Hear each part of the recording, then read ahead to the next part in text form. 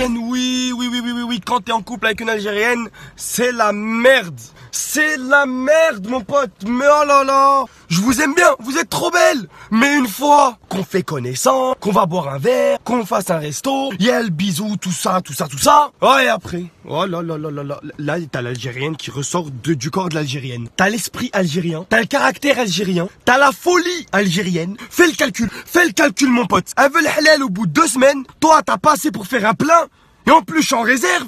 Et elle te parle de mariage. Ici, t'as le malheur. Wallah, si t'as le malheur de lui dire non. Bagarre. Bagarre. J'espère que tu sais te battre, mon pote. Parce que Wallah, que les Algériennes, elles savent se taper, mon pote. Non mais en vrai, les Sarah, les Sabrina, je vous aime bien. Wallah, machallah, les femmes. Mais une fois que la connaissance a été faite, là, il y a tout le côté hard de l'Algérie qui ressort. One, two, three, vive l'Algérie.